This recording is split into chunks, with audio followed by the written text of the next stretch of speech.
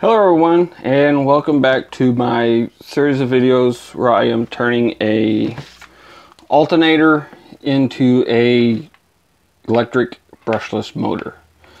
So this video I'm going to be covering the things you need. So first and foremost you're going to need an alternator. Now my earlier video a lot of questions I had is what kind of alternator is that? What's it off of? Well it doesn't matter. Any alternator off of pretty much any car, truck, whatever will work. It doesn't matter. They're all made basically the same. So any alternator will work. You're going to need a brushless motor speed control or an ESC electronic speed control. Now this is an 80 amp. I personally would use nothing under this. Um, I would really like to have one over 100 amps if I was putting this motor on something such as a electric bike or something like that. Um, 100 amps or better. Plus also you will want one rated at 6S which is the number of cells in a lithium battery such as this one. 6S is the number of cells in one. So you want one rated at at least 6S or 6 cells.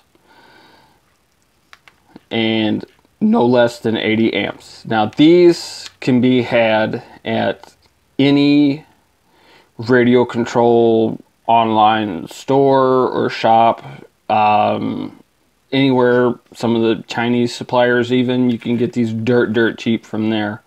And they seem to work really well. This is where this one come. This is from a Chinese supplier, so I paid, I want to say like maybe $15 for this thing. But just remember, 6 cell or 6S, and as high as amperage as you can afford. You will need a battery of some sort. This is a 6S 6L battery.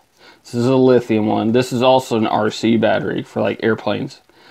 Um, you can either use one of these or you could even use if you wanted to like two 12 volt lead acid batteries such as car batteries or whatever you could use two of them so as long as you're getting 24 volts that would be great now, probably getting more power out of it, going back to the speed controller, if you could find one rated at higher than 6 cell, I'm talking like 12 cell. They're they're out there. They're considerably more expensive, but uh, I imagine you could get a whole lot more power out of this motor if you could put 48 volts or better into it.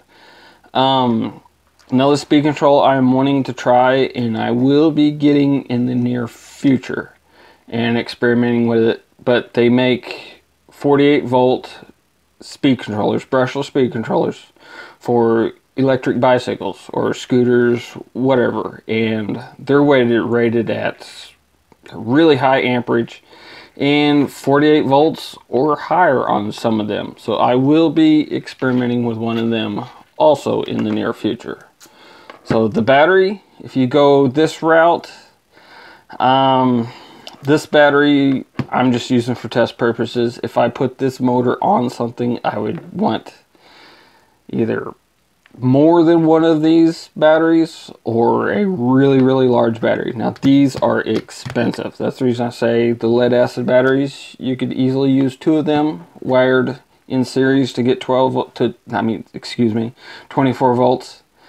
Um, the milliamps, as big as you can go on them if you go the lithium route. This is a 3200 milliamp. That's the capacity of the battery. So the larger capacity of battery you can get, the better. Um, lead acid would honestly be excellent, excellent.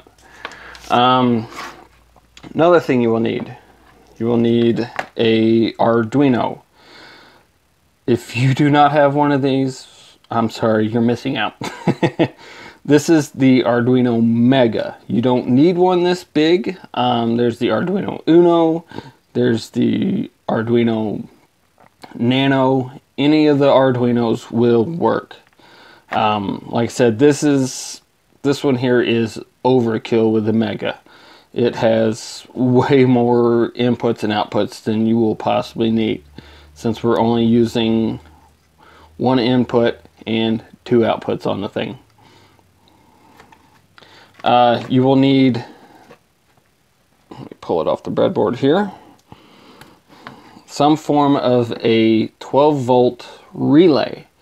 This is one I pulled out of some, I have no idea, something I desoldered this off of a board but this is a little 12 volt relay. You could use even such as an automotive relay like this one here um, would work great also. This is 12 volts. You will need a transistor. This one here happens to be a 2222A transistor. These can be had anywhere and everywhere. You will need a 10K or 10,000 ohm potentiometer. You'll need one of those. And you will need a also this is a if I can see the numbers on it this is a